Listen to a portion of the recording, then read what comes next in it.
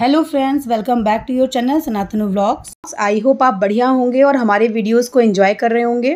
सो so, जैसा कि आपने हमारे लास्ट व्लॉग में देखा कि हम किस तरह से मस्ती करते हुए खाना पीना बना के खाते हुए चाय नाश्ता करते हुए मस्ती करते हुए आराम से हम महाराष्ट्र पहुँच गए। तो फटाफट बिना देर किए शुरू करते हैं इस ब्लॉग को। लेके भगवान शंकर का नाम बोलो हर हर महादेव की जय।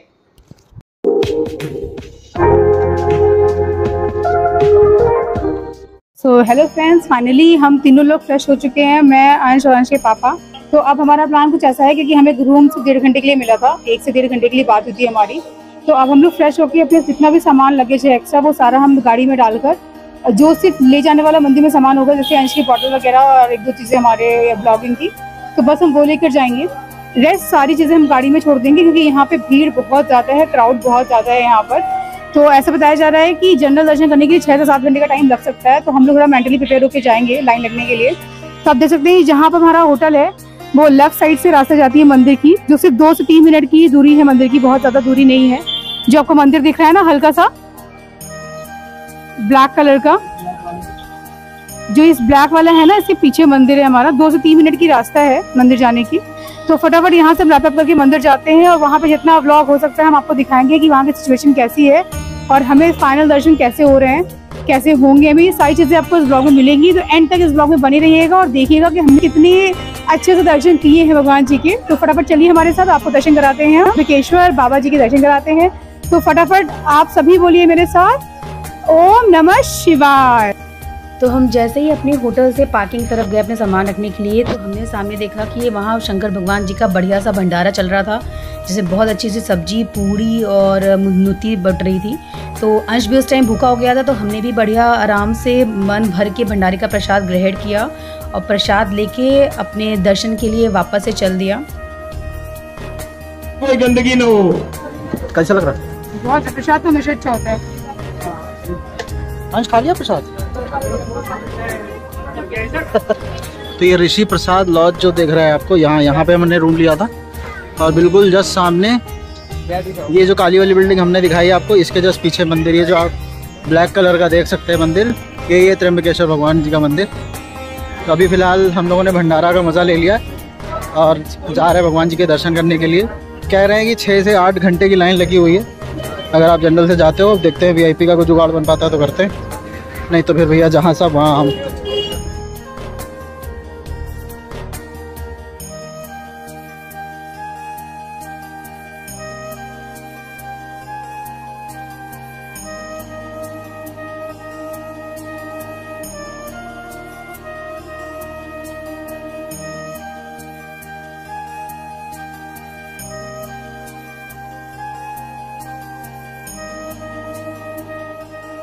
तो हम जैसे ही मंदिर पहुँचे हमने देखा वहाँ वीआईपी की लाइन के लिए यानी वीआईपी टिकट के लिए भी बहुत लंबी लाइन थी जिसमें अगर हम लगते तो हमको कम से कम पाँच से छः घंटे लग जाते। बट ऐसा लग रहा था शिव भगवान जी ने खुद ही प्रकट हो गए बंदा बनकर जिन्होंने जो भैया हमें मिले उन्होंने खुद से अप्रोच किया हमें कि मैं आपकी टिकट ला के दे दे, दे देता हूँ क्योंकि आपके साथ में बच्चा है। तो उन्होंने हमारी टिकट अरेंज कर दी और हम टिकट लेने के बाद हम वीआईपी लाइन के लिए लग गए। हेलो हंस देगी। हर हर महादेव।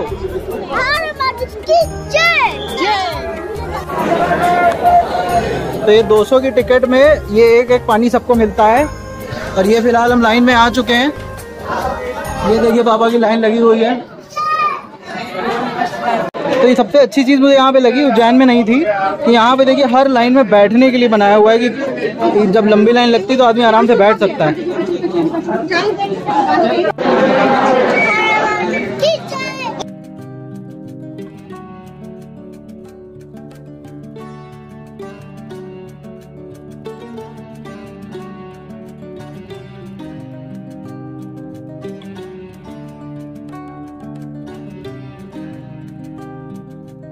तो अभी जो लाइन आपको ये ग्रिल के बीच में दिख रही वो तो है ही है।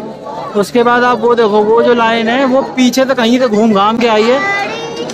तो कुल मिला के काफ़ी टाइम लगे चलो चल चल चल चल चल चल। तो ये पूरी लाइन आने के बाद हमें कोई अल्टीमेटली इस जगह पे जाना है। ये है बाबा का मंदिर।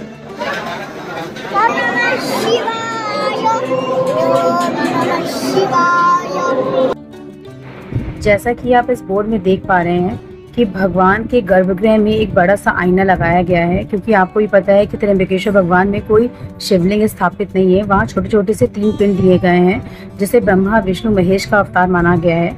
तो छोटे से पिंड को आप शीशे में अच्छे से देख पाए भीड़ भड़का में, इसलिए आप वहाँ पे मिरर बड़ा सा लगाया गया है, जिसमें आपको दर्शन सुचारू रूप से हो पाए। तो अभी हम पहुँच चुके हैं बिल्कुल द्वार पे बाबा के। काफ़ी भीड़ थी, लेकिन बाबा की दया से हमें ज़्यादा भीड़ का सामना नहीं करना पड़ा। और वीआईपी में भी काफ़ी भीड़ थी, लोग बता रहे पाँच पाँच घंटों से लाइन में लगे हुए थे। लेकिन हमें हार्डली आधे से पौन घंटा हुआ है, ज़्यादा नहीं हुआ है। और हमारे जस्ट सामने बाबा जी हैं, ये देखिए हमारे पीछे। ये है बाबा जी का गेट और बस हम दर्शन के बिल्कुल कुछ ही समय बस दूर हैं। कोशिश करेंगे कि अगर शूट करने को मिला तो वहाँ पे भी आपको दिखाएँगे बाबा जी को। हर हर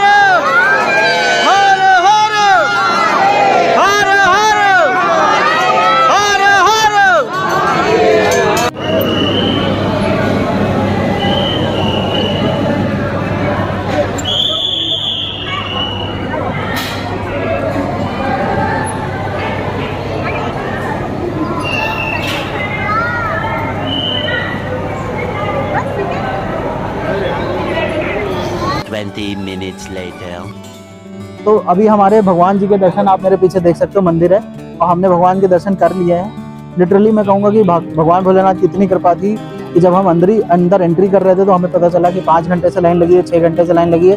हमारे तो हाथ पैर फूल गए थे, लेकिन भगवान की कृपा से हमें एक बंदे ऐसे मिले जिन्होंने कहा कि, लाइए, मैं आपकी टिकट लेके वी आई देता हूँ। तो हमने वीआईपी के दो टिकट लिए दो दो सौ रुपये पर हेड के हिसाब से। और मुश्किल से पंद्रह मिनट में हमें टिकट मिल गई। और उसके बाद हम जब वीआईपी की एंट्री से हम निकली और हार्डली आधा घंटे में हमें अपने भगवान के दर्शन बहुत ही प्यारे तरीके से हो गए। तो दर्शन में कहूँगा कि बहुत अच्छे हुए व्यवस्था बहुत अच्छी थी। लाइन से जो आपने पिछले शॉट्स देखे होंगे कि बिल्कुल क्यू में हर चीज़ बंधाई हुई है। प्लस जिनको प्रॉब्लम है बैठने में तो उनके लिए बैठने के लिए भी व्यवस्था की गई है। तो मतलब बहुत ही अच्छे दर्शन हुए। तो अभी हम इस गेट से अंदर भगवान के दर्शन करके आए हैं।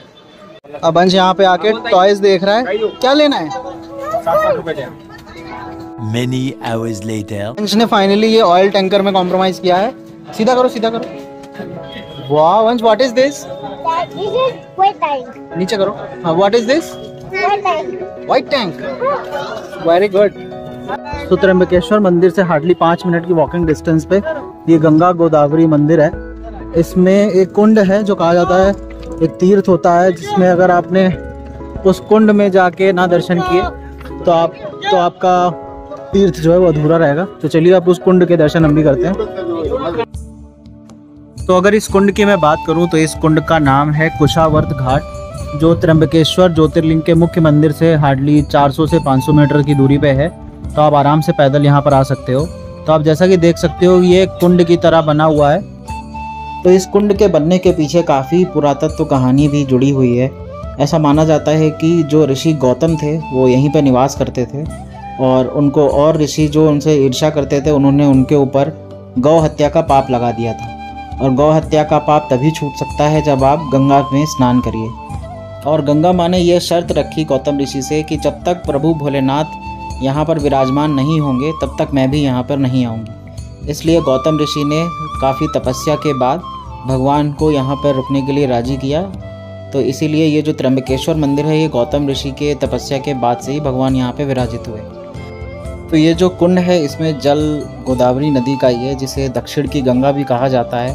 और इसमें जल छिड़कने से और स्नान करने से दुनिया के सारे पाप नष्ट हो जाते हैं। तो तब से ये कहानी चली आ रही है और इस घाट का एक अलग महत्व है।